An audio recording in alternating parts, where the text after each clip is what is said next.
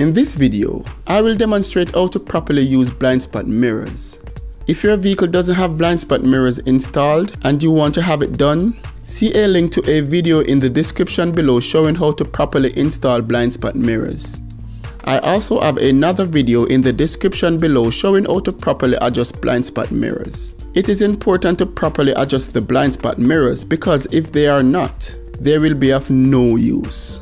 Before I get into showing how to use blind spot mirrors on a vehicle, take a look at this scene on the freeway showing blind spot mirrors in action. Here you can see that the vehicle is directly in the rear view mirror. There is no vehicle to the left at the moment. The driver in that vehicle decided to switch lanes to the left to overtake my vehicle.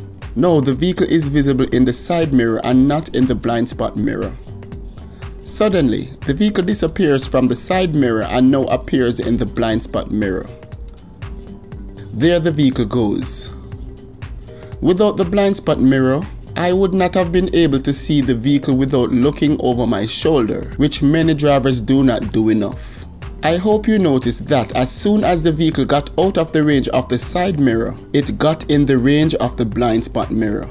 Not seeing the vehicle in the side mirror and the blind spot mirror at the same time tells that the mirrors are adjusted properly. Let's now go into how to properly use blind spot mirrors.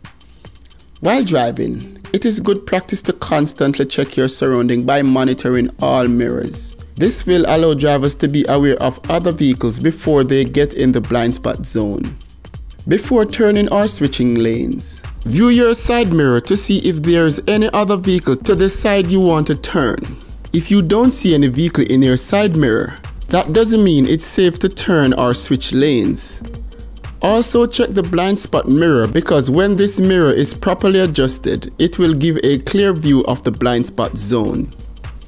Here you can see this vehicle in the blind spot mirror, yet you are not able to see that same vehicle in the side mirror. It's not safe to switch lanes or turn at this time. It is safe to turn or switch lane when no vehicle is seen in neither the side mirror nor the blind spot mirror. It is also a good practice to view your rear view mirrors as well because some drivers like to speed and can get in your blind spot zone in seconds. Also, while you are turning or switching lanes, Keep your eyes on the blind spot mirror and side mirror to see whether any vehicle enters this zone at high speed. It is important to understand that blind spot mirrors are not substitutes for your side mirrors. Both mirrors should be used together to monitor traffic to the side of the vehicle. Always check both side mirrors and blind spot mirrors before switching lanes and turning. In summary, using your blind spot mirrors properly involves using a combination of side mirrors, blind spot mirrors and the rear view mirror altogether. So blind spot mirrors are not substituting for side mirrors and rear view mirrors. They provide assistance for monitoring your surrounding. Side mirrors are inexpensive. Even though it's a simple technology that reflects objects, it is just as good as advanced blind spot sensors and optical blind spot cameras. Look out for a video ranking the different ways to monitor the blind spot zone. Let me know in the comments below if a vehicle ever magically appears to the side of your vehicle and you had no idea how it got there. Frightening, isn't it? Thanks for watching. If you found this video informative, please like, subscribe and share. Also, hit the notification bell to be notified as soon as I upload a new video.